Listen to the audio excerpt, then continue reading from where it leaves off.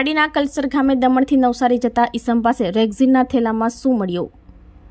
પારડી પોલીસની ટીમ પેટ્રોલિંગમાંથી તે દરમિયાન મળેલ બાતમીના આધારે દમણથી દારૂ ભરીને નવસારી તરફ જતો એક ઈસમને પોલીસે ઝડપી પાડ્યો હતો. પારડી તાલુકાના કલ્સર સડક ફળિયા પાસે પોલીસે વોચ ગોઠવી હતી. ત્યારે કોલક નદી તરફથી એક ઈસમ પોતાના ખભે અને હાથમાં બે રેક્ઝિનના થેલા લઈને આવતો હતો, જેની તપાસ કરતા ત્રણસો અઢાર નંગ વિસ્કીની બોટલ, જેની કિંમત રૂપિયા અઠ્યાવીસ હજાર બસો પંચોતેર મળી આવી હતી.